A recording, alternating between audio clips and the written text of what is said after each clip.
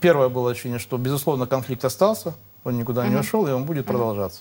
И раскол в горсовете на лицо. Это констатация факта, с которым, на мой взгляд, трудно спорить.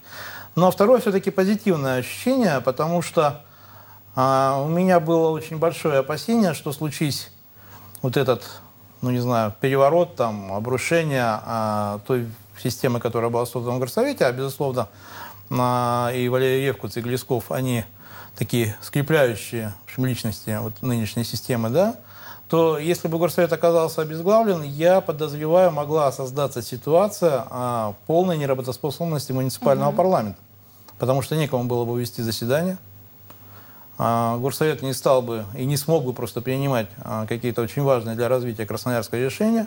И мы могли оказаться в ситуации, в которой в свое время оказался, например, Канский районный совет и Абанский районный совет, которые, как вы знаете, очень печально закончили свою деятельность, были просто распущены.